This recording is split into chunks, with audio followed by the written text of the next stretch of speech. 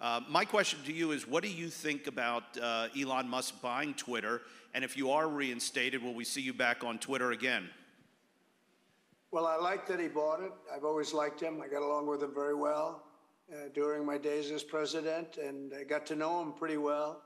Uh, but I do like him. I've, I've always really, you know, he's a, he's a character, and uh, I tend to like characters, but he's smart. Uh, he did put up a poll, and I hear it's very overwhelming, very strong. But I have something called Trump.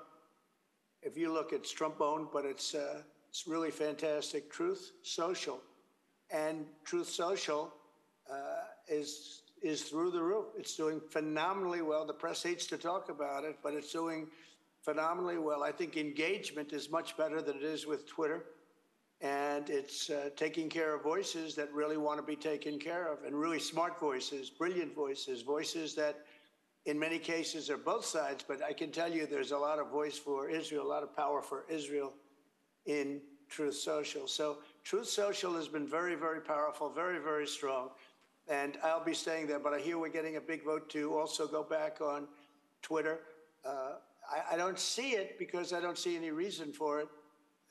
They have a lot of problems at Twitter. You see what's going on. It may make it, it may not make it, but I, the problems are incredible.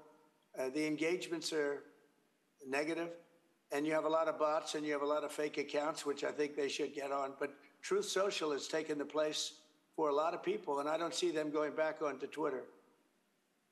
So the I want to get back to the Abraham.